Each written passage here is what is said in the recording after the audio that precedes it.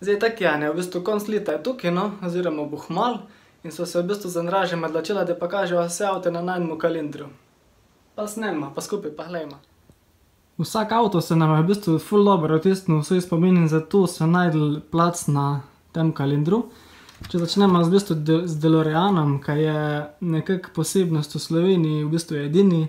Na svetu jih je tam okoli šest tavžent, tako da mislim, da ni treba poudarjati, zakaj je legenda iz Back to the future filma na prvem mestu oziroma na januarju. Focus RS z Multec izpušnim sistemom, posebnost v bistvu avto, kjer se ga da v bistvu zelo, zelo fajn predelati. fajn poka, in če greva naprej, je v bistvu Mazda tri taka bolj navadna oprema, challenge, ampak je v takem idiličnem gorskem okolju v Logu pod Mangartom. Nas je navdušila s svojimi sistemi pa notranjostjo. Insignia, z njo smo preživeli po moje največ cajta letos. pot v Frankfurt, po moje je bilo več kot tavžent kilometrov vsega skupaj, res fantastična limuzina. Fičko, legenda sama po sebi, ke v bistvu povezuje mlajše pa starejše generacije. Večni optimist hoče biti Porsche. Renault Megane, no, ta se je v bistvu najbolj vtisnil v spomin oziroma mu bo lep v spominu ostal Andražu. z opremo GT-line pa še par modnimi dodatki po lastni izbiri.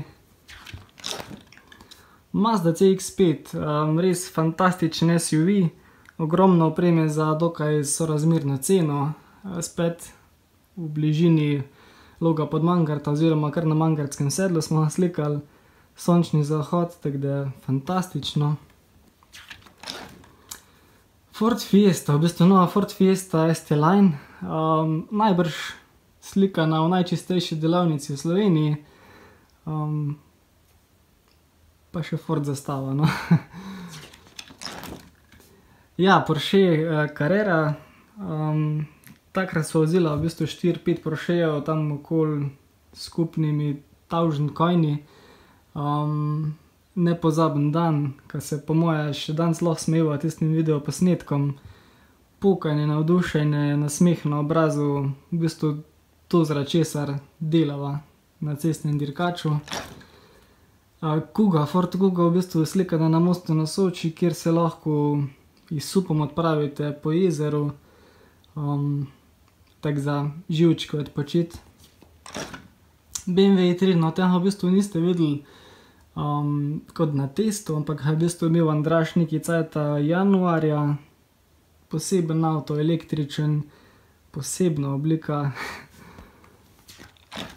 In za konec v bistvu še avto, ke naju je navdušil v Frankfurtu, Opel Grandland X.